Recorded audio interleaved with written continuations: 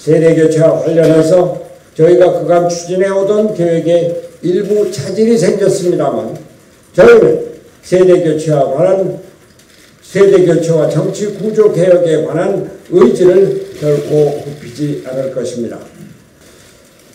경영제에 대해서 한 가지 말씀드리겠습니다. 어제 우리 당의 의원들이 의원총회를 열어서 비례대표 의원 9명의 제명안을 의결한 데 대해서 당의 대표로서 깊은 유감을 표합니다. 국민 여러분과 당원 동지 여러분께 상황이 이렇게까지 온 데 대해서 송구스러운 마음을 금할 수 없습니다. 그러나 소위 셀프 제명은 불법이며 불법이며 해당 의원들의 당적 변경은 원천 무효입니다.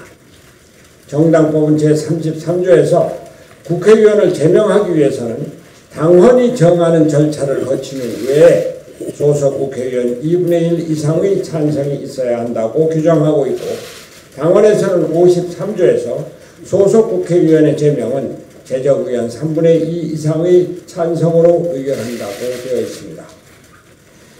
당원의 세부 규정인 그 당규에서는 윤리위원회 16조 2항에는 국회의원의 제명은 제1항 윤리위원회 징계 외 의원총회에서 제적의원 3분의 2 이상의 찬성이 있어야 한다고 규정하고 있습니다. 이것은 의원총회의 규정은 국회의원에 대한 제명을 신중하게 해야 한다는 취지의 부가 규정인 것입니다. 당에서는 중앙선거관리위원회 유권 해석을 의뢰했고 국회에도 이 사실을 통보했습니다. 이러한 불법 행위를 주도하고 참여한 당내 국회의원들의 행위에 심심한 유감을 표합니다. 셀프 제명된 의원들은 이미 당을 떠나 안철수계 신당에 공식 직함을 갖고 참여하고 있는 분들이 많습니다만 정치인은 소신과 원칙에 따라 처신해야 한다는 것이 저희의 입장입니다. 당을 떠나려면 떳떳하게 탈당을 할 것이지 의원직과 그에 따른 특권을 유지하려고 하는 것은 국민의 동의를 얻지 못할 것입니다. 안철수 국민의당 창당, 아, 지금 국민의당 이름을 못 쓰게 됐죠. 여하튼 안철수 어, 국민의당 창당 준비위원장께도 한 말씀 드립니다.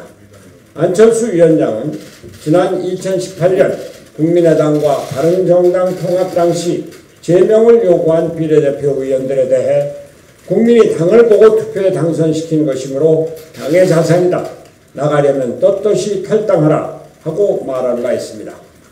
스스로의 원칙조차 지키지 않는 정치 세력이 어떻게 국민의 대안이 될 수 있겠습니까? 이미 구태 정치와 다를 바 없는 행태가 아닐 수 없습니다. 이번 사태에 대해서 강한 유감과 아쉬움을 표합니다. 저와 바른미래당은 순간의 어려움에 굴하지 않을 것입니다.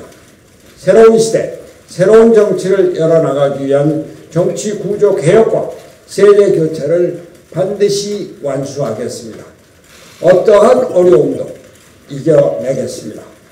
세대 교체와 관련해서 저희가 그간 추진해오던 계획에 일부 차질이 생겼습니다만 저희는 세대 교체와 관한 세대 교체와 정치 구조 개혁에 관한 의지를 결코 굽히지 않을 것입니다.